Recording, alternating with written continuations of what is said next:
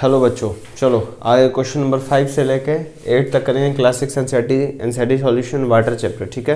Question number five से eight तक होगा, ठीक है? क्वेश्चन नंबर वन से फोर तक हो चुका था। चलो, यहाँ ध्यान दो। चलो, अगला क्वेश्चन देखो।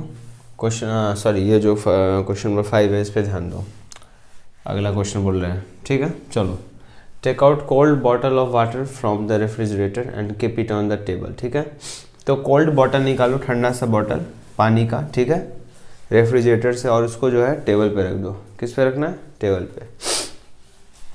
After some time you will notice puddle of water around it ठीक है? तो कुछ समय बाद आप देखिएगा कि उसके चारों ओर जो है मतलब उसके सरफेस पे आउटर सरफेस पे वाटर ड्रॉपलेट्स जो है जम गया है।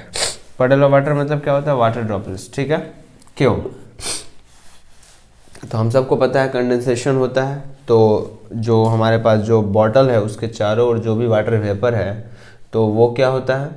वो जो है बॉटल से कांटेक्ट में होता है। बॉटल से कांटेक्ट में है तो क्या होगा? कूल होगा। कूल होने के बाद कंडेंस होगा। कंडेंस होने के बाद जम जाएगा। जम जाएगा मतलब क्या? मतलब जमना मतलब फ्रीज नहीं। जमना मतलब कि बैठ जाएगा। मतलब कि ड्रॉपलेट्स बन जाएगा। So this is because water vapour near the cold bottle collides with it ठीक है? तो ये जो है हमारे बॉटल जो है हमारे पास, ये जो बॉटल है, और यहाँ क्या वाटर पेपर ठीक है? तो वाटर पेपर जो है इससे टकरा रहा है, टकरा के क्या हो रहा है? कूल हो रहा है। कूल होने के बाद जो है कंडेंस होने के बाद इस पर जम जा रहा है। तो यही क्या, यही ड्रॉपलेट है। ठीक है? And condenses into water droplets water droplets में कंडेंस हो जा रहा है। These water droplets collect and form a puddle of water तो यही वाटर ड्रॉपलेट्स जो हैं, ये जमा हो जाते हैं और पडल ऑफ़ वाटर बनाते हैं, यानी कि ऐसे ग्रुप बना लेते हैं ऐसे, ठीक है? इस पर जमते हैं ना, वही पडल ऑफ़ वाटर है। अराउंड द बॉटल यानी बॉटल के चारों ओर, ठीक है? क्वेश्चन नंबर फाइव हो गया क्वेश्चन नंबर सिक्स की ओर बढ़ते हैं। चलो आगे देखो। टू क्लीन देयर स्पेक्टिकल्स यानी चश्मा साफ़ करने के लिए people often breathe out on glasses to make them wet ठीक है? तो लोग क्या करते हैं, ऐसे चश्मा पे, जैसे मान लो ये चश्मा है इसको हम साफ़ करना चाहते हैं तो ऐसे क्या करते हैं, ऐसे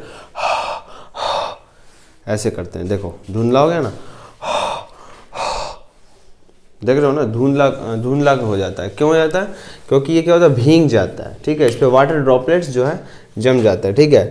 Explain by the glasses become wet तो ये जो शीशा है ये ये क्यों भींग जाता है? ठीक है? ये बताना है। तो देखो, हम लिख रहे हैं।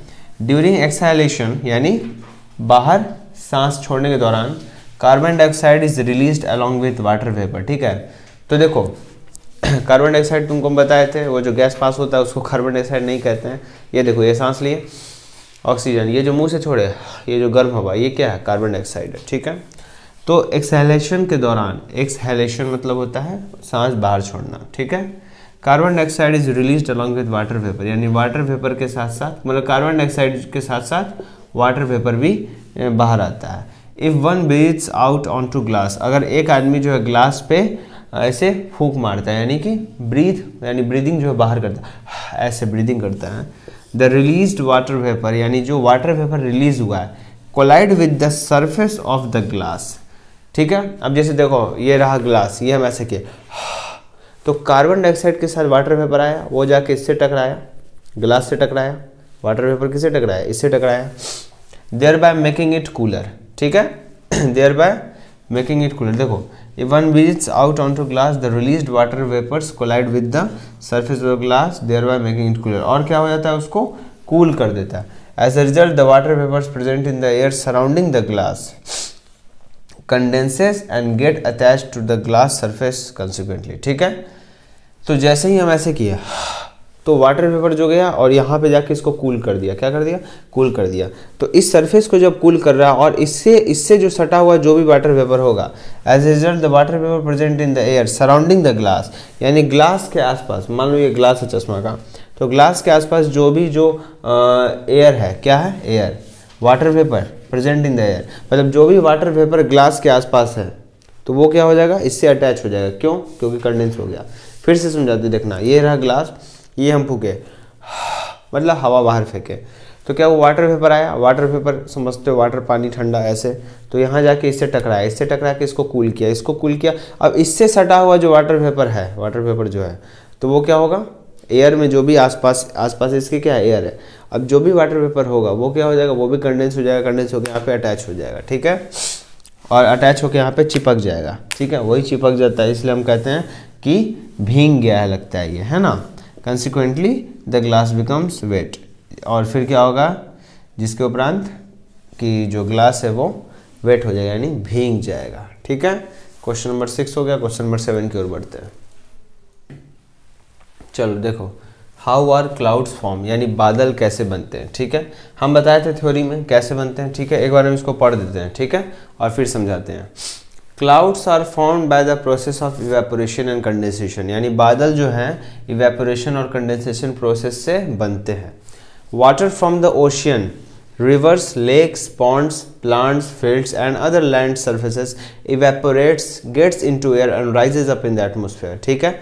यानी पानी जो कि ओशियन से है ओशियन का पानी हो गया, यानी समुद्र का पानी, नदी का पानी, झील का पानी, तालाब का पानी, मैदान का पानी, कहीं का पानी अरे टंकी का पानी।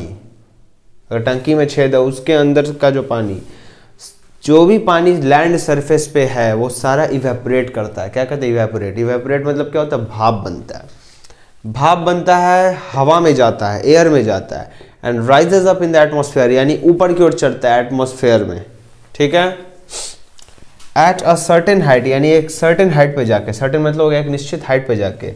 When the air becomes cooler जहाँ पे हवा जो है ठंडा हो जाता है एयर बिकम्स कूलर जहाँ पे हवा ठंडा है, यानी जहाँ टेम्परेचर कम है, यानी जहाँ ठंडा है, एक सर्टन हाइट पे जाके जब तापमान कम होता है, यानी कूल होता है जब जहाँ पे air water vapour content in air condenses यानी ये जो एयर जो कि, ये जो वाटर वेपर जो है, जो कि ऊपर जा चुका है तो उस हाइट पे जाके वो क्या हो जाता है कंडेंस हो जाता है वाटर वेपर जो है कंडेंस हो जाता है। कौन कंडेंस होता है? वाटर वेपर यही वाटर वेपर यही वाटर जो कि इवेपोरेट होकर वाटर वेपर बना। एक हाइट पे जाके जहाँ पे तापमान कम है, यानी कूल है, जहाँ का एयर वहाँ क्या होता है? यही वाटर वेपर कंडेंस हो जाता है। कंडेंस मतलब आसपास, आपस में जुड़ जाता है। आपस में जुड़ जाता है और क्या बना लेता है? वाटर ड्रॉपलेट बना लेता है। और यही वाटर ड्रॉपलेट जब बड़ा बड़ा ड्रॉपलेट जो है ढेर सारे जब जुड़ता है छोटे छोटे ड्रॉपलेट सब तो वो क्लाउड बन जाता है। ठीक है? ऑन कंडेंसेशन और कंडेंसेशन होने के बाद कंडेंसेशन क्या है? यही वाटर ड्रॉपलेट जो, यही वाटर वेपर ऊपर जाने के बाद जो कंडेंस हो रहा है कंडेंस होकर आपस में जुड़ रहा है ड्रॉपलेट बना रहा है, उसी को कंडेंसेशन कहते हैं। These form water droplets droplets बनाता है। दीज वाटर ड्रॉपलेट्स कलेक्ट और यही वाटर ड्रॉपलेट जो कलेक्ट हो जाता है, और हवा में, ऊपर जो है, हवा में तैरता है, जिसको कि हम बादल कहते हैं। And we call it as clouds question number क्या था ये? सेवन क्वेश्चन नंबर सेवन भी कंप्लीट। अब है एट्थ क्वेश्चन, लास्ट क्वेश्चन। चलो, सो सूखा कैसे पड़ता है? सूखा कैसे? मतलब एक एरिया में कैसे सूखा पड़ जाता नहीं बोलते, सूखा पड़ गया, ठीक है? तो ऐसा क्यों होता है? ये भी चीज़ हम थ्योरी में बताए हैं, एक बार फिर से हम पढ़ रहे हैं और जिसको समझना। A drought occurs if there is no rainfall for a long time यानी सूखा ठीक है? सूखा तब पड़ता है जब बिल्कुल भी बारिश नहीं होती है लंबे समय तक, ठीक है? Usually water lost by soil due to evaporation is return to it by rains ठीक है? ऐसे नॉर्मल होता ये है कि मिट्टी से, ये रहा मिट्टी। अब मिट्टी में क्या है? पानी। अब मिट्टी से जो भी पानी लॉस हो रहा है, यानी इवेपोरेशन हो रहा है तो मिट्टी में जो भी पानी है, वो वाटर वेपर बन रहा है। और वापस ऊपर जा रहा है क्लाउड बन रहा है और फिर वापस रेन हो रहा है। ठीक है? यानी बारिश हो रही है। ठीक है? तो जो भी पानी लॉस्ट हो जाता है, जो भी पानी खो जाता है मिट्टी के द्वारा, मिट्टी के द्वारा मतलब मिट्टी से जो भी पानी निकल जाता है इवेपोरेशन के कारण तो वो वापस रिटर्न हो जाता है हमको बारिश के रूप में। ठीक है? तो मिट्टी है, मिट्टी से पानी चला गया आसमान में तो वो फिर बारिश होती है और फिर वो जो है रिगेन हो जाता है, यानी रिटर्न हो जाता है। ठीक है? But no rainfall occurs for a uh, but no rainfall occurs for a long time. It led to a decrease in the water level of various ponds and ठीक है? अगर लेकिन अगर बारिश हो ही नहीं रहा है बिल्कुल लंबे समय तक के लिए ठीक है? It led to a decrease in the water level तो क्या होगा? अगर लंबे समय तक बारिश नहीं हो रहा है तो वाटर का जो लेवल है मिट्टी के ज़मीन के अंदर जो है ना ग्राउंड वाटर लेवल होता है ठीक है? तो जो वाटर का लेवल है वाटर टेबल वाटर का जो लेवल है, वो नीचे चल जाता है। क्या चल जाता है? नीचे, ठीक है? और पॉन्ड्स का भी, यानी तालाब का भी जो वाटर का लेवल है, वो भी नीचे जाता है। कुआँ का भी सब वाटर का लेवल जो है, नीचे चल जाता है। ठीक है? This led to the condition of drought और यही जो है कंडीशन जो है हम, यही कंडीशन हमको क्या कहलाता है? सूखा कहलाता है। ठीक है? समझ में आ रहा है? कोई बहुत बड़ा चीज़ नहीं है। मिट्टी है, मिट्टी में पानी होता है। इवेपोरेशन के कारण जो है ये पानी लॉस हो जाता है मिट्टी से और बारिश के कारण जो है ये क्या हो जाता है? बारिश के कारण वापस जो है मिट्टी में आ जाता है। लेकिन अगर बारिश हो ही नहीं, जो पानी जा रहा है वो केवल जा रहा है, नीचे आ ही नहीं रहा है। बारिश नहीं होता, उसको कुछ अलग फैक्टर्स होता है। ठीक है? तो क्या हो रहा है? बारिश नहीं हो रहा है तो इसमें मिट्टी को पानी मिल नहीं रहा है, ज़मीन के अंदर यानी पानी जा नहीं रहा है। मिट्टी पे पानी गिरेगा तो ही ना पानी रिस्क के अंदर ज़मीन तक जाएगा। ज़मीन तक जाएगा, तभी तो ग्राउंड वाटर लेवल बना रहेगा वाटर वाटर लेवल समझ रहे हो ना? तो यही कंडीशन जो है, क्या कहलाता है? ड्राउट कहलाता है D R O U G H T ठीक है? Class six N solution water water chapter पूरा कंप्लीट हो चुका है। अगर नहीं देखे हो तो थ्योरी जाके देखो। पूरा लेक्चर चढ़ा हुआ है ठीक है? वाटर पूरा ध्यान से देखो सब कुछ समझ में आएगा गारंटी है समझ में आएगा नहीं आता है फिर क्या बोले फिर से देखो। और ये एनसीईआरटी सॉल्यूशन जो है यहाँ पे इसको क्वेश्चन नंबर वन से फोर करा दिए थे क्वेश्चन नंबर फाइव से एट तक ये भी हो गया ठीक है? इसको भी देखो और इसको समझो ठीक है? सो so, बहुत बहुत धन्यवाद इस लेक्चर को ध्यान से सुनने के लिए।